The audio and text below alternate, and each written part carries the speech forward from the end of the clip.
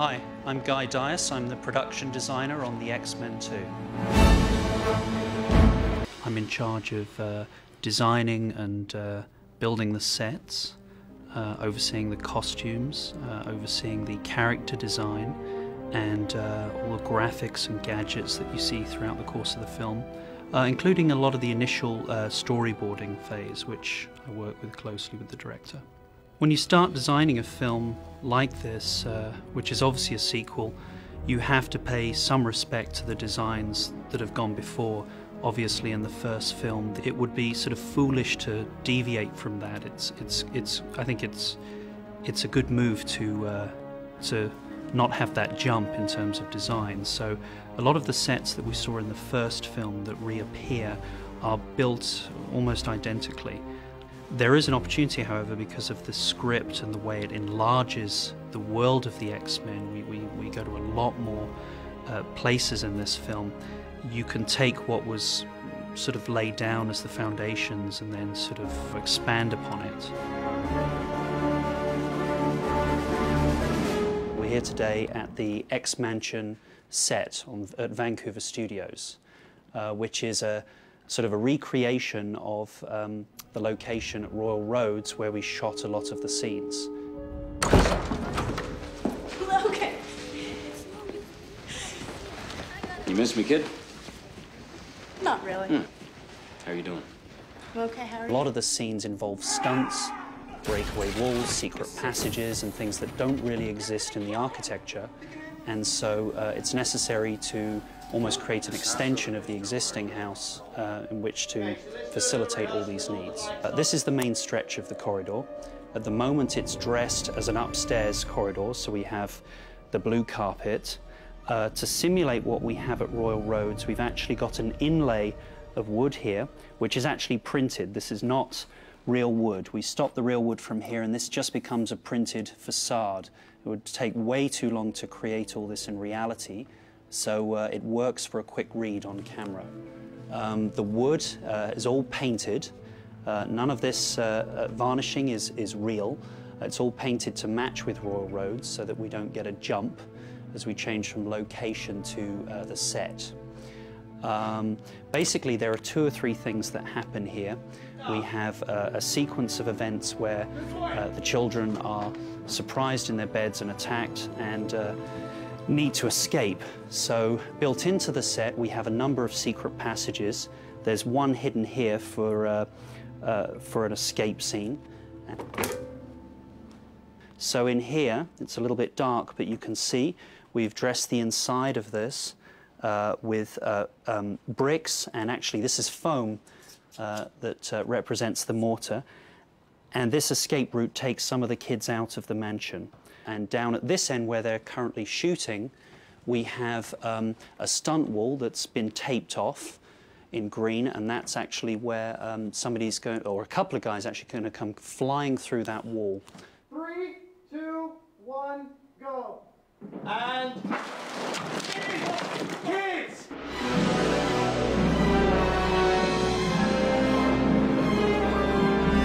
Okay. Uh, well done, kids. Now we're just going to walk outside of the set and see uh, where we are in reality. Uh, this is one of the stages at the Vancouver Film Studios. This production is much, much bigger than the first one. I guess uh, somebody was telling me here in Vancouver that we're technically the biggest build in, in the history of the town. In terms of comparing it, the design improvements uh, in this film. I, am a great admirer of uh, the designer who worked on the first film and really respectful of his work. And uh, it was extremely uh, challenging to even sort of uh, try and approach it from a, a standpoint of, oh, we're going to do better. But in a way, you have to. I think the audience is expecting a higher level of, of detail, uh, more in depth look into the X Men's world. In the film, there's a, museum set which we uh, had to create. And uh, initially, I started scouting some local uh, museums and exhibition spaces here in Vancouver. But of course, they weren't quite what Bryan needed for his script, which was a science museum. There wasn't really anything along the lines of what he required. Originally, when we came to this space, um, I was trying to show Bryan a smaller area uh, and suggesting that that could be entirely a mutant exhibit. And he sort of waltzed out into this big space said, No, this is the museum. And oh, my God, what am I going to do? This was a, a, a, huge set decorating job. Uh, everything here from uh, the graphic panels that you see, uh, the color scheme of the museum, a lot of the exhibits have all been handmade uh, for this scene. The exhibits, a lot of them were created by us in the art department.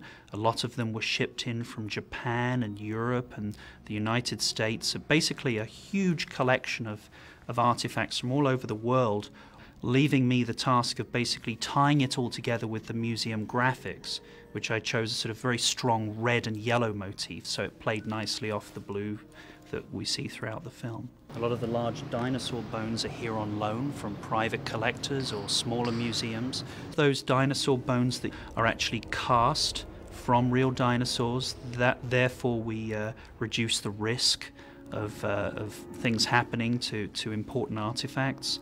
The idea of getting a woolly mammoth was just fantastic, you know. And uh, uh, and then when I told Bryan, Bryan, I'm going to get this woolly mammoth, he said, Oh, what else can you get? Can you get me a saber-toothed tiger? So I'll try. You get me a Tyrannosaurus Rex, so I'll try. So it sort of went on like that, and we have, yeah, we have quite a few, I think, dinosaurs here because of that. So you just can't beat the flexibility of taking a huge space like this that has nothing in it, and then just doing exactly what you want something would always be wrong with one of the museums. The, whether it was personal choices of mine, I didn't like the colour of the, the pink carpet, or, or whether it was something that wasn't working for Bryan, the architecture was too old perhaps for the scene.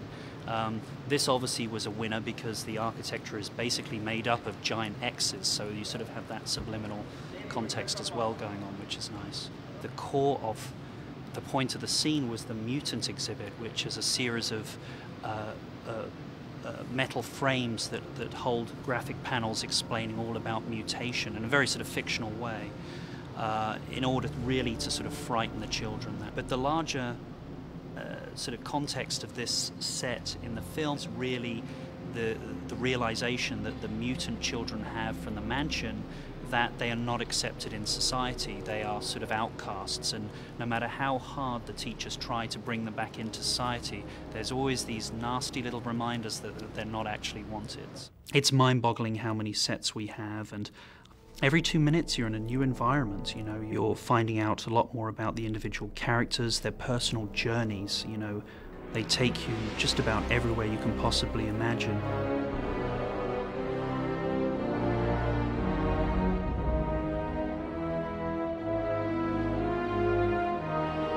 So this is Magneto's plastic prison, and uh, this is where um, he remains for the first part of the film. Uh, the set is about 20 square feet. It's not very big at all. And uh, to accommodate a shooting crew on a set like this that's so small, uh, we usually have a platform that butts up against one of the sides of the plastic prison, and we actually remove one of the walls, what we call wilding. Uh, that means that the camera can be on the outside of the, the, set, shooting inwards, and give us the impression that we're still inside the set. Um, there are a number of props and pieces of furniture here uh, to sort of help sell the idea that we really are in a plastic world. Uh, here's the famous um, plastic wheelchair that Xavier uses once he visits. Uh, the chess set, uh, which was uh, handmade, which is a major feature in the film. the bed and then the desk and some of the, the small things that we found around that are basically made of plastic to help sell the idea. Remembering, not, not an ounce of metal can really exist in here. Uh, one of the new favourite features of our director, Bryan Singer, is are the, uh, well, that one's gone, but one's over there, are the, um, the cameras, the uh, fibre optic cameras, which are made entirely of plastic. And we had to expand upon the world of the plastic prison and uh, a lot of what was created in CG the first time around we actually had to build this time. For example, the drawbridge and uh, the reception area. So here we are in the metal detection area and uh, actually the first unit uh, of photography has just left yesterday and the set's in quite a state, it's held up quite well. Uh, you can see on the floor there's a lot of tape where uh, with, uh, the actors basically had their marks for some of the action sequences, a lot of scuff marks. Um, each one of these hexagonal tiles was individually stuck down with glue um, and uh, as you can see we've got some missing here now. Uh, which will all have to be repaired for the second unit who will come in in a few days time. Um, but uh, it's held up pretty well, I think. What's interesting about this set was I probably never would have used these tiles had I known they were going to do action sequences in here. Originally, in the first script, it was uh, supposed to be um, Xavier with Scott wheeling up and visiting for a conversation. There was never any sort of fight in here. And I guess in one of the, the script rewrites, they suddenly wrote in this action sequence. I thought, what am I going to do, you know? But um, it seems to have worked out quite well. Nightcrawler's church is a real church that we're uh, able to use, and uh, we're going to have to basically uh, dress it as though it's um, being renovated. So it's sort of an abandoned church, so to speak. A lot of scaffolding and dust cloths and spooky statues, and it has a, a very sort of uh, uh, almost tongue-in-cheek hammer horror feel to it. You know, it has that sort of gothic feel to it to introduce where Nightcrawler hides out. We're here on the set of the White House, and we're currently in the Oval Office. And uh, if we look around, I'll point out some of the details of this particular set. Over here, we have a replica of the presidential desk, uh, which has actually been handmade for the show and uh, somebody worked uh, away on this for two months solid and uh, it's a really beautiful job perfect replica um, it's actually raised as you can see on, on dollies currently so that we can move it around in and out of camera shots as necessary. It's incredibly heavy. Um, underneath my feet here we're standing actually on the, uh, the new Oval Office carpet um, which has replaced the royal blue version which uh, was uh, changed out by Bush. Um, if you look up, you can see we actually don't have a ceiling in the Oval Office. This was a requirement for the stunt crew who will be coming here and doing some amazing things with Nightcrawler. And uh, the design of this uh, this set is is pretty authentic. We're about uh, two square feet larger in size to accommodate some of the the uh, the crew. There's a lot of people that need to cram in this room.